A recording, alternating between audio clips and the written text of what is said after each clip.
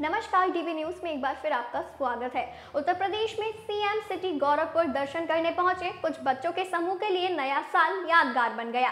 यह बच्चे गोरखपुर मंदिर में गए तो दर्शन के लिए थे, लेकिन वहीं पर उन्हें मुख्यमंत्री योगी आदित्यनाथ मिल गए। मुख्यमंत्री ने इन बच्चों से हालचाल पूछा, पढ़ाई की जानकारी ली और सिर पर हाथ फेरते हुए खूब आशीर्वाद दिया।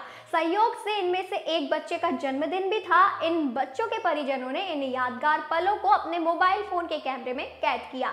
बता दें कि मुख्यमंत्री योगी आदित्यनाथ रविवार की शाम को गोरखपुर पहुँचे थे। रविवार को नववर्ष के अवसर पर उन्होंने पहले मंदिर में पूजा की और फिर गोरखनाथ मंदिर स्थित अपने आवास के प्रथम तल पर शक्ति पीठ में विधि विधान से रुद्राभिषेक भी किया। इस दौरान उन्होंने वैदिक मंत्रोच्चार के साथ हवन आरती करते हुए प्रदेशवासियों के आरोग्य, सुख समृद्धि व शांतिमय जीवन की मंगल कामना की। इसके बाद सीएम योगी मंदिर भ्रमण के लिए निकले। मंदिर के भ्रमण के दौरान सीएम योगी ने वहाँ आए, कुछ बच्चों को देखा तो उन्हें अपने पास बुला लिया। बच्चों ने भी योगी आदित्यनाथ को सामने देखकर हैप्पी न्यू ईयर कह दिया। जवाब में मुख्यमंत्री ने सभी बच्चों से दुलार करते हुए खूब आशीर्वाद दिया। इस मौके पर सीएम योगी ने बच्चों के साथ ढेर सारी बातें की।